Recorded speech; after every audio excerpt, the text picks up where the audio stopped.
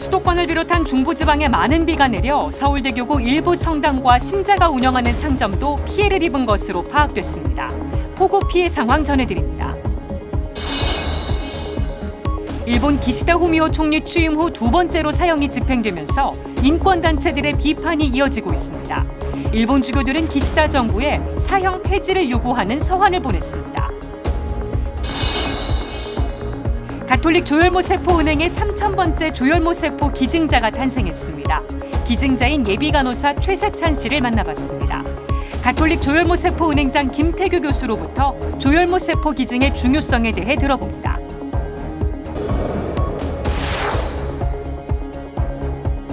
시청자 여러분 안녕하십니까? 8월 9일 화요일 CPBC 뉴스 시작하겠습니다. 어제 수도권을 비롯한 중부지방에 시간당 100mm가 넘는 많은 비가 내려 사고와 피해가 속출했습니다. 일부 성당과 신자가 운영하는 상점들도 피해를 입은 것으로 파악됐습니다. 서울대교구 반포 일동 성당은 폭우가 쏟아지던 어젯밤 지하 4층 주차장에 물이 발목까지 차올라 오늘 새벽 양수기를 동원해 물을 모두 빼냈습니다. 압구정 성당과 시흥 4동 성당도 일부 침수 피해를 입었습니다. 동작지구의 한 성당은 지하 회합실 10곳이 물에 잠겨 냉장고와 가전제품 등이 침수 피해를 봤습니다. 삼성산 성당에서는 성당 별관 지하에 물이 차올랐고 도림천이 범람하면서 일대 본당 신자들의 상점이 물에 잠겼습니다. 게릴라성 집중호우가 길게는 이번 주말까지 이어질 거란 예보입니다. 피해가 없도록 시설물 관리와 안전에 각별히 유의해 주시기 바랍니다. 그리고 피해를 입은 가정과 성당들의 빠른 복구를 간절히 바랍니다. 다음 소식입니다. 일본이 최근 사형을 집행했습니다. 지난해 10월 기시다 후미오 총리 취임 후 두 번째 사형 집행이었는데요.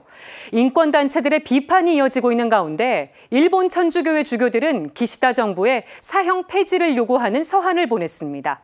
전은지 기자의 보도입니다. 2008년 일본 도쿄에서 한 청년이 트럭을 몰고 돌진해 행인들을 치고 흉기를 휘두르는 묻지마 살인 사건이 발생했습니다. 이 사건으로 살인죄를 선고받고 복역하던 사형수에 대해 일본 법무성이 지난달 말 사형을 집행했습니다. 지난해 10월 기시다 후미오 총리 취임 후 집행된 두 번째 사형입니다.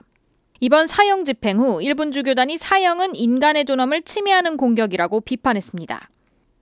일본 주교회 정의평화협의회는 지난 26일 기시다 총리와 후르카와 요시이사 법무상에 서한을 보내고 사형이라는 폭력으로는 평화를 이룰 수 없다고 비판했습니다. 일본 정평협은 서한에서 예수 그리스도의 복음은 모든 생명에 대한 존중을 가르친다며 무거운 죄를 지은 사람이라도 존엄성을 잃을 수 없다고 말했습니다.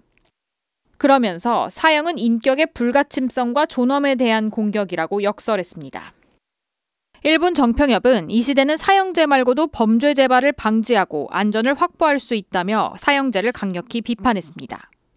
또 프란치스코 교황의 회칙 모든 형제들 263항을 언급하면서 교회는 전 세계에서 사형 폐지를 위해 결연히 노력하고 있다고 강조했습니다.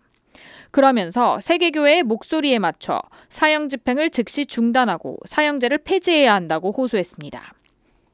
정평협 위원장 웨인 프란시스 번트 주교는 서한에서 일본이 국제적 지위를 떨어뜨리는 폭력적 조치를 취한 것이 매우 우려스럽다고 밝혔습니다. 한편 이번 일본의 사형 집행을 두고 국제 엠네스티를 비롯한 인권단체도 비판의 목소리를 높이고 있습니다. 특히 이번 사형 집행을 당한 사형수가 재심 청구 절차를 밟고 있었다는 점에서 논란이 커질 것으로 보입니다. CPBC 전은지입니다.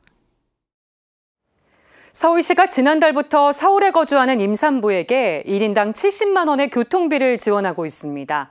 그런데 이주 여성들은 지원 대상에서 빠졌습니다. 뒤늦게 조례 개정안이 발의됐습니다. 김영규 기자입니다. 서울시의 임산부 교통비 지원 사업. 오세훈 시장의 공약 사항으로 임산부 1인당 교통비 70만 원을 지원하는 사업입니다. 임산부 본인명의 신용 체크카드에 70만 원을 교통 포인트로 지급합니다. 지하철과 버스, 택시 등 대중교통을 이용하거나 자차의 유류비로 사용할 수 있습니다. 지원 대상은 신청일 현재 6개월 이상 계속해서 서울시에 주민등록을 두고 있는 임산부입니다. 그런데 지원 대상에 외국인은 쏙 빠졌습니다. 임신한 배우자가 외국인인 경우 주민등록 등본에 가구원으로 기재돼 있어도 신청이 불가능합니다. 정의당 서울시당은 최근 서울시청 앞에서 임산부 교통비 지원사업 규탄 기자회견을 진행했습니다. 사각지대 해소 노력을 해야 할 서울시가 도리어 사각지대를 양산하고 불평등한 잣대를 들이밀고 있다는 것입니다. 서울시에 거주하는 이주 여성, 임산부들을 차별하고 있습니다. 한국 국적 남성과 이주 여성으로 이루어진 다문화 가정에 경제적 부담은 경감되지 않았고 한국 국적 남성 역시 이주 여성과 혼인했다는 이유로 차별 대우를 받고 있는 상황입니다. 서울시는 다문화 가정도 지원을 받을 수 있도록 서울시 의회와 협의에 나섰습니다. 관련해 아이수루 서울시의회 더불어민주당 의원은 어제 외국인 임산부에게도 교통비를 지원하도록 하는 서울특별시 출산 및 양육 지원에 관한 조례 일부 개정 조례안을 대표 발의했습니다. 조례 개정안이 통과되면 외국인 등록증 등 증빙 서류를 통해 서울시 관할 구역 내에서 6개월 이상 계속 거주하는 사실이 확인될 경우 교통비 지원이 가능해집니다. 교통약자인 임산부의 이동 편의를 높이고 출산 과정에 경제적 부담을 덜어주기 위해 마련한 임산부 교통비 지원 사업. 차별 없는 지원이 현실화되길 기대해 봅니다. CPBC 김영규입니다. 백혈병 등 난치성 혈액질환 치료에 꼭 필요한 조혈모 세포. 그래서 조혈모 세포 기증은 생명을 살리는 희망의 씨앗으로 불리는데요. 가톨릭 조혈모 세포 은행의 3,000번째 기증자가 탄생했습니다. 화제의 주인공을 제가 직접 만나봤습니다. 가톨릭대 간호대학에 재학 중인 최세찬 씨는 몇 달 전 자신의 조혈모 세포를 필요로 하는 환자가 있다는 전화를 받았습니다. 그제서야 수능 시험을 치르고 헌혈을 하다가 조혈모 세포 기증을 등록했던 사실이 떠올랐습니다. 보통 어떤 전화가 받긴 받으니까 이제 전화를 받아봤는데 사실 그때 처음 들을 때까지만 해도 까먹었었어요. 1년 반이나 전 얘기다 보니까 아마도 내가 기증을 했었지. 최 씨는 기증을 결심했지만 가족들은 걱정이 많았습니다. 특히 어머니가 좀 많이 걱정을 하시더라고요. 그래도 좋은 일을 하는 거니까 의견을 존중해 주셔서 그쵸, 가능하게 됐습니다. 최 씨는 여의도 성모병원에 입원해 검사를 받고 쇄골 아래쪽에서 조혈모 세포를 채취했습니다. 조금 낯설고 긴장되긴 했지만 헌혈할 때와 비슷한 느낌이었습니다. 사실 그렇게 막 아프지는 않습니다. 헌혈할 때 정도의 느낌인데 헌혈한 이쪽은 이제 헌혈한 곳이 아니다 보니까 어색하긴 하지만 기증하는 동안이 1시간 반 정도 되는데 그동안 팔을 쓸 수 있으니까 오히려 좋지 않나. 조혈모 세포 기증은 최 씨에게 얼굴 한 번 본 적 없는 누군가의 생명을 살리는 귀중한 경험이 됐습니다. 1대1로 어찌 보면 가장 큰 도움을 주는 것이기 때문에 아무래도 그 점이 가장 신기했었고 그리고 이런 경험은 되게 마음 신기해지는 경험이 있어요. 더욱이 예비 간호사로서 의료 현장을 미리 체험하는 기회가 되기도 했습니다. 수술실 가서 이제 어떻게 무균적으로 처치하시는지 그런 것들 보는 것도 사실 그것도 전부 다 시험범이었었고 하다 보니까 음, 나, 내가 나중에 이런 것들을 할 수도 있겠구나라는 생각이 들어서 어떤 행동 하나 더 유심히 보게 됐고 최 씨의 조혈모 세포 기증은 가톨릭 조혈모 세포 은행으로서도 뜻깊은 일이었습니다. 최 씨가 3,000번째 기증자였기 때문입니다. 현재 가톨릭 조혈모 세포 은행에 등록된 기증 희망자는 8만 2천 명이 넘습니다. 통상적으로 타인간 유전자형이 일치할 확률은 2만 분의 1로 매우 낮기 때문에 기증 희망자가 많을수록 생명을 살릴 수 있는 가능성이 높아집니다. 우리나라에서 조혈모 세포 이식을 기다리는 사람은 4,500명가량. 장기 기증 못지않게 조혈모 세포 기증 활성화가 절실히 필요한 이유입니다. 지금까지 앵커 리포트였습니다. 생명을 살리는 조혈모 세포 기증에 대해 좀 더 자세한 이야기 나눠보겠습니다. 가톨릭 조혈모 세포 은행장이신 김태규 교수님 스튜디오에 나오셨습니다. 교수님 안녕하세요. 예, 안녕하세요. 조혈모 세포 기증 3천내 달성을 축하드립니다. 아, 예, 제가 너무 기쁘고 네. 벅찹니다. 예, 은행장을 오랫동안 맡아오셔서 소감이 더 남다르실 것 같은데 어떠세요? 예, 예. 저희 은행은 서울 아, 이전에 성모병원이 국내에서 최초로 가족 간의 조혈모세포 은행을 성공을 시켰습니다. 그래서 그 이후에 한 10년 후에 가족 내에서 더 이상 기증자를 찾을 수가 없기 때문에 가톨릭 의과대학 내에서 우리가 1994년에 가톨릭 조혈모세포 은행을 어, 설립을 하고 지금 현재까지 기증 희망자는 약 8천 명 정, 아 8만 명 정도를 네. 모집을 하고 요번에 드디어 그 중에서 3천 명이 실질적으로 기증을 하게 되었습니다. 네. 그래서 2013년도에는 이제 첫 번째 기증자가 있었고, 음. 예, 2018년에 예, 2천 번째 기증자가 있었고, 네. 어, 올해 3천 번째 기증자라서 저희가 어, 무척 어, 기쁘게 생각을 합니다. 네.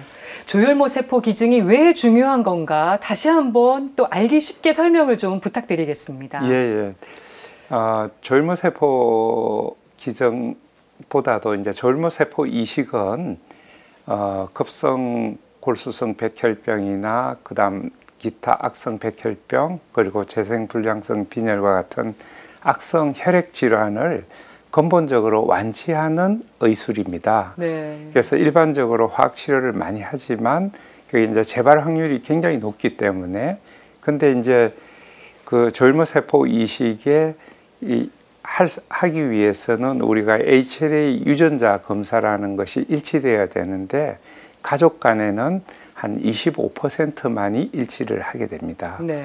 그래서 최근에 이제 형제간이 적기 때문에 일치되는 형제를 찾을 수 없는 상황이 많아서 저희가 많은 사람들에게 순수 기정 희망자를 모집해서 그 기정 희망자들에서 우연히 굉장히 행운으로 어, 기정 건강한 기정자를 찾게 되면 새로운 이제 그 치유의 어, 기회를 갖게 만들어주는 네. 그런 네, 그 이식입니다. 네. 예. 그러니까 이게 조혈모 세포 기증만이 그분들한테는 어떻게 보면 희망이 될 수도 있는 예, 그렇습니다. 그런 기다림인 거잖아요. 예, 그래서 가족 내에서 찾지만 안타깝게도 가족 내에서 찾지 못할 때 그래서 국내에서는 매년 2, 3천 명의 이제 이식이 필요한 환자가 생기는데 실질적으로 저희가 이제 비혈형관 조혈모 세포 이식으로서는 7, 800명 정도가 이식이 됩니다. 그렇군요. 그래서 아직도 많은 환자들이 유전자가 일치되는 그런 그 기정 희망자, 기정자들을 어, 필요한 상황이 됩니다. 네. 근데 조혈모 세포 기증이 많이 아픈 건 아닌가, 부작용이 있는 건 아닌가, 사실 두려워하시는 분들이 꽤 계시거든요. 예. 어떻습니까? 예, 이전에는 조혈모 세포 이식을 우리가 골수 이식이라고 했습니다. 그 엉치 뼈에서 혈액을 채취해서 환자한테 넣어주는 이식술이었는데 최근에는 이제 말초 혈 이식이라고 해서 촉진제를 맞은 다음에 혈, 이제 혈관에서 혈액을 빼서 네. 이제 이식을 하게 됩니다. 그래서 일반적으로 그 헌혈보다는 약간 시간도 걸리고 네. 힘들지만 어, 부작용은 없고 일반적으로 이제 촉진제를 맞고 나면 감기와 비슷하게 몸살과 같은 그런 것을 경험하기도 하지만 네. 한 2, 3일 후면 곧 회복이 되는 안전한 시술입니다. 조혈모세포 기증하려면 어떻게 하면 되는지 짧게 부탁드리겠습니다. 예. 국내는 가톨릭 조혈모세포 은행을 비롯한 다섯 개의 기증 희망자 등록 기관이 있는데 먼저 기증 상담을 받으신 후에 우리가 그 건강한 분이면 모두 기증이 가능하고 어, 기증 상담을 받으신 후 혈액을 3cc 정도 채취하면 기정 등록이 완료가 됩니다. 그렇군요. 예. 알겠습니다. 이상으로 뉴스 마치겠습니다. 시청해주신 여러분 고맙습니다.